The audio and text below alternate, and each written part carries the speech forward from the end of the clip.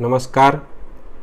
આપનું હાર્દિક સ્વાગત છે એજ્યુકેશન ગુજરાત ચેનલમાં આજે આપણે ધોરણ છઠ્ઠાના વિષય સંસ્કૃત અઠવાડિક પરીક્ષા કુલ ગુણ છે પચીસ. પચીસમાંથી પચીસ મેળવ્યા છે દિવરાણીયા માનસી. બીજા ઘણા વિદ્યાર્થીઓએ પણ પચીસમાંથી પચીસ ગુણ મેળવ્યા છે. એમના નામ આ વિડીયોના એન્ડમાં આવશે. પ્રશ્ન પહેલો એમ છે કે નીચે આપેલા ફકરા પંક્તિઓનું ગુજરાતીમાં ભાષાંતર કરવાનું છે. સંસ્કૃતમાં આપ્યું છે ને, ગુજરાતીમાં રૂપાંતર કરવાનું છે. ભાષાંતર. પેલું છે સસક ગચતી એટલે કે સસલું જાય છે. બીજું વાક્ય છે સિંહ અનુગચતી સિંહ તેની પાછળ જાય છે. પછી ત્રીજું વાક્ય છે સસક વૃક્ષ સમીપમ આગચ્છતી, એટલે સસલું છે, ઝાડ પાસે આવે છે. સિંહ વદતી કૂત્ર, પતતી આકાશ. સિંહ બોલે છે, ક્યાં પડે છે આકાશ? સસક કમીપ, ન વદતી, સિંહ હસતી. સસલું કંઈ પણ બોલતું નથી ને સિંહ હસે છે. બીજો પેરા છે ફકરો, એમાં પેલું વાક્ય છે, નમસ્તે શારદા દેવી, નમસ્તે શારદા દેવી, વીણા. વીણા પુસ્તકમ ધારણી, તો વીણા અને પુસ્તક ધારણી. વિદ્યારંભે કરસ્મથી પ્રશ્નામ ભવ સર્વદા. તો એ વીણા અને પુસ્તક ધારણી, તમને નમસ્કાર હજુ હું વિદ્યાની શરૂઆત કરું છું. તમે મારા પર હંમેશા પ્રસન્ન રહેજો. બીજો પ્રશ્ન છે, નીચે આપેલામાં સાચા વિકલ્પ, ક્રમ અક્ષર પ્રશ્ન સામે પહેલાં બોક્સમાં લખવાનું છે. પેલું વિદ્યાર્થી પોતાના પર પ્રસન્ન રહેવા કોને પ્રાર્થે છે? તો એ પ્રાર્થે છે મા સરસ્વતીને. બીજો પ્રશ્ન, સંસ્કૃત ભાષા કઈ લિપિમાં લખાય છે? તો લિપિ છે ના નાગરિક કે દેવનાગરિક. ત્રીજું, સાક્ષાત પરબ્રહ્મ સ્વરૂપ કોણ છે? તો એ છે ગુરુદેવ. પ્રશ્ન ચોથું, સસલું શા માટે દોડે છે? તો પાંદડું પડવાના ડર, ડરી જાય છે. એ ડરથી જ એ દોડે છે. પાંચમું, સસલું ક્યાં રહે છે? તો એ રહે છે જંગલમાં.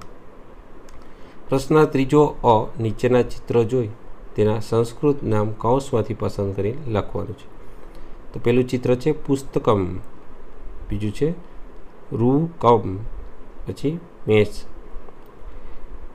પછી છે પિઝા પછી ચમ્મચ. પછી પુષ્પાદાની અને તાલ પ્રશ્ન ત્રીજો બ, નીચેની ખાલી જગ્યા કૌંસમાંથી શબ્દ પસંદ કરીને પૂરો. પેલું, વક્રતુડનમ મહાકાયમ, તો સૂર્યકોટી સમાપ્રભ. બીજું છે, અહમ વિદ્યાવ્રમ આરંભ કરણ્યાસ્યામી ત્રીજું છે શૃંગાલ આગચ્છતી અને ચોથું છે સિંહ અસતી. પ્રશ્ન ચોથો અ નીચે પ્રશ્નોના ગુજરાતીમાં એક બે વાક્યમાં જવાબ લખો. પેલું ગુજરાતી ભાષાની લિપિ કઈ લિપિમાંથી આવી છે? તો ગુજરાતી ભાષા દેવનાગરી લિપિમાંથી આવી છે. બીજું, શું શીખવાથી આપણી માતૃભાષા અને રાષ્ટ્રભાષા હિન્દીને શું સમૃદ્ધ બનાવી શકાય છે? તો સંસ્કૃત શીખવાથી જ આપણી માતૃભાષા અને રાષ્ટ્રભાષા હિન્દીને સુસમૃદ્ધ બનાવી શકાય છે. પ્રશ્ન ત્રીજો, સસલાની પાછળ કોણ કોણ દોડે છે? તો સસલાની પાછળ શિયાળ અને વાંદરો દોડે છે.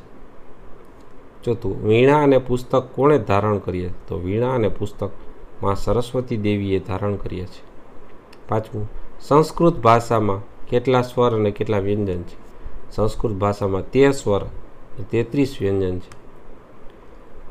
પ્રશ્ન ચોથો બ, નીચેના શબ્દોનો સાચો સમાનાર્થી શબ્દ પસંદ કરવાનો છે વિકલ્પમાંથી. તો વાનર તો કપી, વૃક્ષ તો તરુ, પર્ણમ તો પલ્લવમ, વનમ તો અરણ્યમ વદતી તો કથતી, કથયતી. પ્રશ્ન પાંચમો, અ, નીચેના શબ્દોના સાચા ગુજરાતી અર્થ આપેલા વિકલ્પમાંથી પસંદ કરવાનો છે.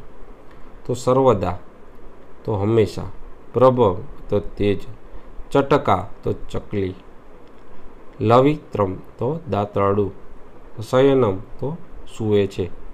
પ્રશ્ન પાંચમો, બ, નીચેના ગુજરાતી વાક્યનું સંસ્કૃતમાં ભાષાંતર કરો. વાંદરો પણ પાછળ દોડે તો વાનમ અતિ અપી અનુ ધાવતી બીજું છે, પાંદડું પડે છે તો પર્ણપતિત. ત્રીજું, આકાશ પડે તો આકાશ પતિત, બરાબર? આ તી છે આકાશ પતતી. તો આ તો આપણે ધોરણ છઠ્ઠાના સંસ્કૃત વિષય અઠવાડિક પરીક્ષાનું પેપર. હવે જોઈએ પચીસમાંથી પચીસ ગુણ મેળવેલ વિદ્યાર્થીઓના નામ. તો એ છે Kothiya, Shyam, B. Vandana R Solanki. Chandela Mahek, D. Dhorajiya Zalak N. Rathod, Nirali, R. Vala, Mansi, Nareshbhai. Batwa Krishna Meramanbhai Odedara Pooja, L. આ દરેક વિદ્યાર્થીઓને પણ પચીસમાંથી પચીસ ગુણ એવા છે. એમને પણ ખૂબ ખૂબ અભિનંદન. જોતા રહો એજ્યુકેશન ગુજરાતી અને શીખતા રહો. થેન્ક યુ આભાર.